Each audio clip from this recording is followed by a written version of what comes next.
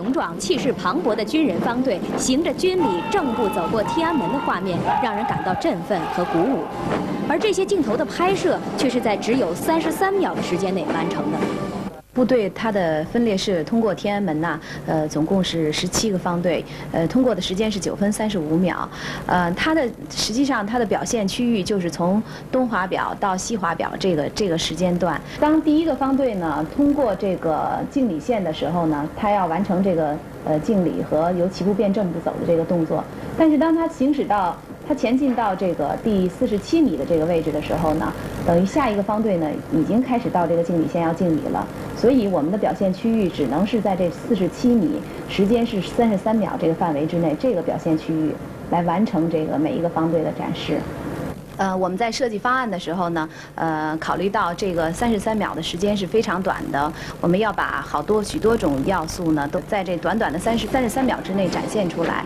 那么就是我们考虑呢，既要有这个呃整个方队的一个形的概括，呃，也要有这个神的表现。第二组战场的心脏交汇在天安门广场。先过一次，然后到。嗯，当时在现场那么多机位的镜头，您是怎么实现调度的呢？嗯，这个嘛，就事先就要有准备。你看这个，这就是我们的那个镜头本儿。据初步统计吧，一共有六百多个镜头。哦。然后在那个切换当中呢，基本上是按照事先准备的这个思路去进行。比如说举个例子，就像女兵方队吧，女兵方队呢，我们是用这角度去表现它。呃，比如像金水桥前的一个升降车，表现这个整个乐队气势；还有通过那个金水桥下面地面的镜头，表现出女兵的近景的这种精神风貌。通过女兵的一个女兵的前景，透视一排女兵，然后背景是天安门，这个镜头呢，就给大家留下的印象。非常深，她呢主要是表现这个女兵的这种精神状态，表现出这种气势。嗯，那么在现场是不是还有很多情况是超出你们事先准备的范围，需要临场发挥的呢？是的。你比如像那个飞机哈，我在现场的时候呢，有很多的角度哈，同时都给我们传过来了。当时看得眼花缭乱，但是呢，你又不能打乱原来的计划。在天安门城楼上有一个有一个机位啊，它是有一个战士站在那儿，然后那个飞机通过他的那个眼前，然后飞过去。哎呦，这个镜头很，当时呢特别感染我们，然后我们临时决定把它生活过的是有滋有味，幸福快乐。我也替观众朋友感谢文清美好的祝愿。文清说的特别好，我们的生活呢是有滋有味的，但同时呢也应该是五彩缤纷的。对，您看彝族姑娘用她们漂亮的褶裙，荡出了对生活的一片热情。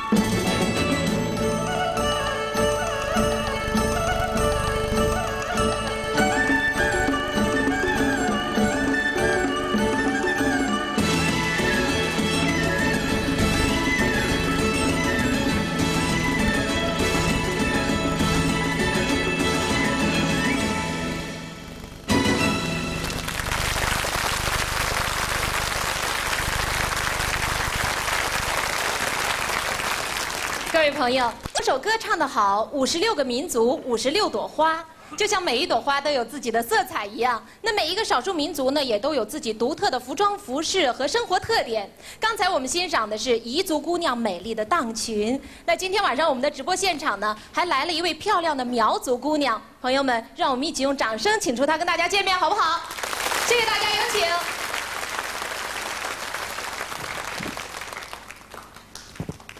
这是我们苗族向大家问候的方式。大家好，谢谢。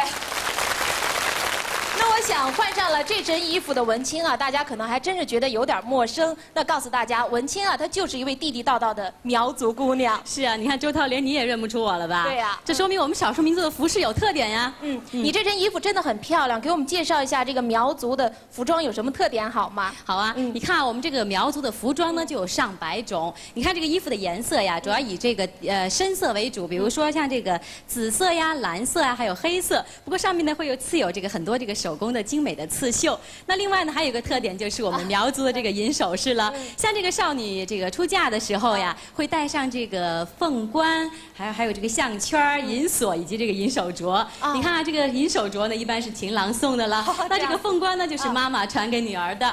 好，谢谢。的确是每一个少数民族啊，都有自己独特的文化。那我们综艺大观的宗旨呢，就是集古今中外艺术之精华，汇神州大地民族之瑰宝。今后我们会陆陆续续把一些少数民族优秀的歌舞节目介绍给大家。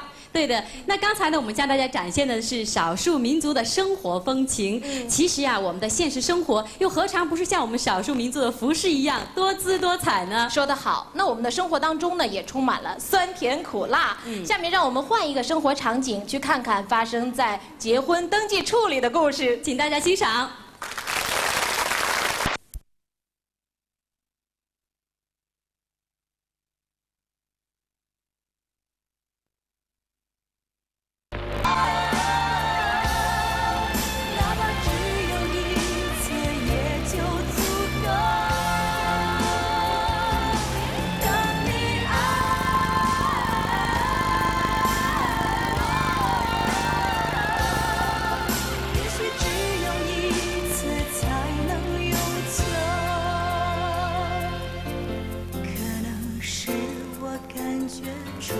错，或许是我要的太多。是否每个人都会想我？害怕相见的人已走了，也许从未曾出现过。怎样去接受才是解脱？